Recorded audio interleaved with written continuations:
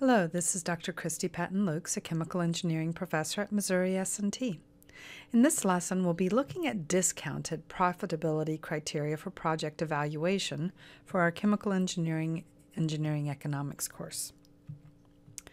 Again, I just included this briefly. You can pause and read these if you need a review of what the, all these acronyms stand for.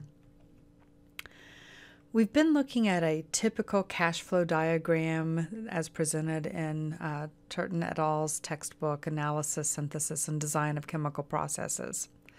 And we now want to look at discounted techniques for analyzing the full life of this project. We've discussed before that we can do this based on time, cash, or interest and we could do it non-discounted or discounted. Discounted is better because it includes the time value of money, and on large, long-term projects, we definitely want to include this. So we're going to be defining our metrics in this lesson. We're going to do this by discounting all cash flows back to time zero which normally we think of as the present time, the beginning of the project. We're also going to be sure that we are always using discounted measures when we're talking about large capital projects. Our time-based metric is the discounted payback period. This is the time required after startup to recover the fixed capital investment for the project where you've discounted all of the cash flows back to time zero. Just like with the non discounted techniques, a smaller value of the payback period, whether it's discounted or non discounted, the smaller values will be better. We also have a net present worth or net present value of a project. This is the cash-based metric that we most commonly used. It's equivalent to the cumulative cash position, but we're doing this based on dollars that have been brought back to today's dollars. The equivalent to the cumulative cash ratio is the present value ratio again, this is the sum of all discounted positive cash flows over the, over the sum of all discounted non-negative cash flows with absolute values. And we're going to be sure that we are always using discounted values for the present value ratio.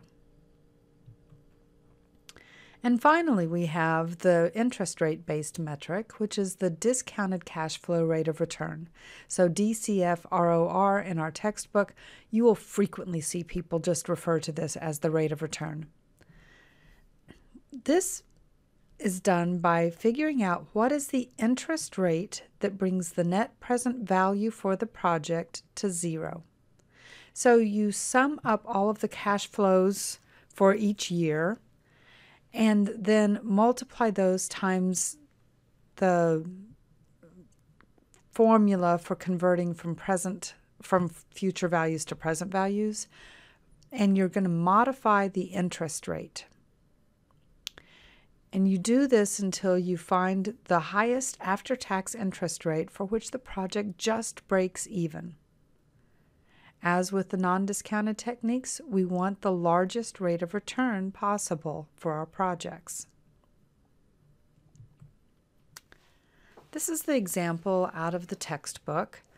And we discussed this briefly in the last lesson, but now then we need to discount each of these values. So the numbers end up being discounted, okay, so divide by at a 10% interest rate, 1.1 to the n power for whatever number of years it is. And we end up with these as our cumulative, cumulative cash flow. So at the end, looks like we have a net of $17.12 million for our project. If we break this down and look at this a little bit more closely, what we're going to see is we've got here our end of year time metric, our investment amount, our depreciation, our value of our project fixed capital investment minus the depreciation at, for every year, our revenue, our cost of manufacturing. This is so that we can figure out how much our after tax profit is, so we can figure out our cash flow. And then this now is figuring out the sum of the cash flows. This is done both non-discounted in this, these two columns and discounted in the final two columns. So first we purchase our land, 10 million. Then we do our fixed capital investment, so another 150 million. And then we add in our working capital. So our, our initial investment is $190 million at this point in time. Now, notice that we are getting our land value back at the end, as well as our working capital. So you'll see those repeated at year 12 because we are going to get that value back. Next, let's look at our depreciation. So our depreciation schedule using the MACRS method uh, is a percentage of the fixed capital investment without the land. And we don't have a salvage value here, so therefore I don't need to subtract off the salvage. And these are just percentages. They are a table from the IRS. And then I use this to calculate the revenue minus the cost of manufacturing. I finally end up getting my cash flows discounted. Oh, let me go back to that, sorry. And my cumulative value.